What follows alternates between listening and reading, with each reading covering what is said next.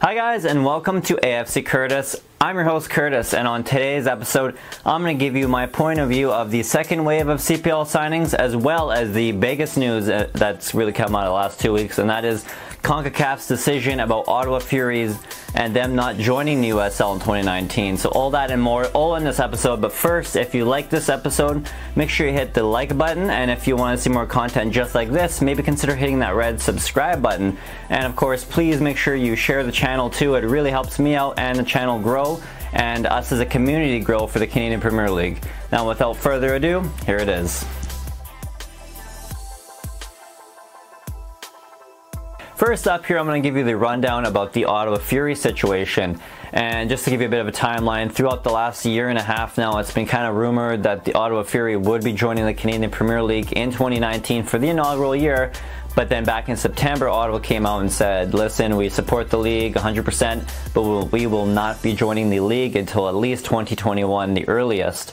And uh, since then, of course, we kind of just thought business as usual. They got sanctioning the play in USL by both the US and Canada. But of course, the governing body of North American soccer, and that is the CONCACAF, came out just last week and actually stated that they have not sanctioned the Ottawa Fury to play in USL in the US of A. And so because of that, their, their reasoning why they didn't sanction them is because they're saying, listen, Ottawa Fury is in Canada, it's a Canadian club, and Canada now has a Division 1 domestically for 2019. So it doesn't make any any sense for a, a Canadian team to go down and play in the second division of a, a United States league when they can just stay home in Canada and play in a Division 1 league. So that's their reasoning. They say that Ottawa Fury, now that they have their own domestic league at home, should stay home and play in that league. I, for one, also agree with CONCACAF's decision. But let me know in the comment section below, what do you guys think? Do you think Ottawa Fury, should they be still allowed to play in the USL in 2019 or should they just be banned and be staying in Canada to play for the Canadian Premier League? Let me know in the section below. The next bit of news I want to share with you guys is the second wave of CPL signings, starting out with York 9 and their first ever international signing, and the league's first ever international signing, Swedish striker Simon Adjei. And the guy actually netted 30 goals in the, in the Swedish second division of soccer just this past season, and has actually played with Brennan or under Brennan in the past with Aurora FC back in League One Ontario back in 2016. And then their second signing ever just happened this couple days ago actually with striker Austin Ricci coming over from Vaughan of the Ontario League as well. Next up here we got Cavalry FC who had a busy Wednesday as they announced not one, not two, but four signings, all of them being uh, Calgarians. So they went local there with midfielder Elijah Adekugbe, defenders Dominick Zator, who played with Calgary Dinos and the Foothills in the past, as well as defender Chris Serban, who has actually had time as well with the Foothills, but also played in the, the Vancouver Whitecaps uh, system there. And of course also Calgarian goalkeeper Marco Carducci, who of course also played with the Vancouver Whitecaps through their academy team as well as under 23 team and even played with Canada at the under 17, under 20 and under 23 level.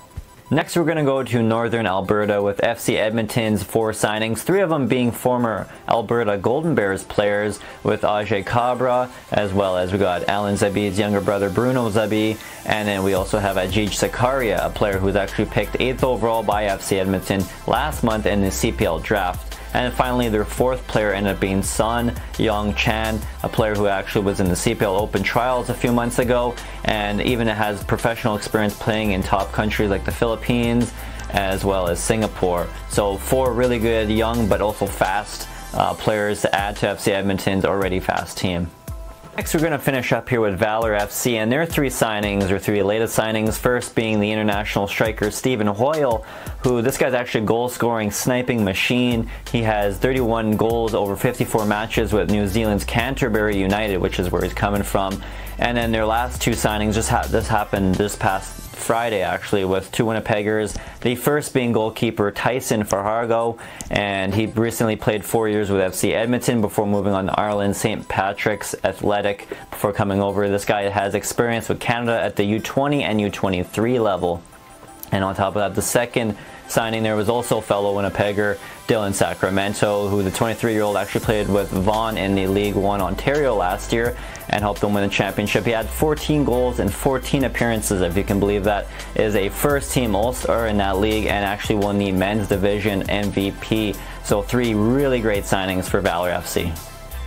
Alright guys, I hope you liked this video and I want to hear from you guys. Let me know what you think about the Ottawa Fury situation with the whole CONCACAF thing and not playing in the USL and should they play in the CPL next year as well as which one of these latest signings are your favorite. Let me know in the comment section below and of course if you like this video make sure hit this that like button and if you want to see more content about the Canadian Premier League maybe consider hitting that red subscribe button and I've been going through a lot of momentum here lately with subscribers so I really appreciate it you guys if you share my videos so we can start growing my channel some more. That would really help me out. And until next time thank you for watching